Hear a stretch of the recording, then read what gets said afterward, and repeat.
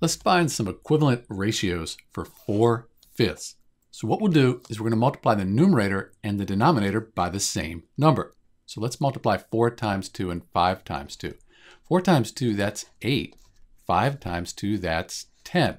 So that's an equivalent ratio or an equivalent fraction to 4 fifths.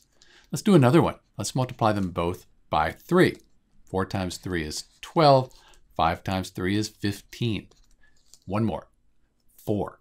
4 times 4, that's 16.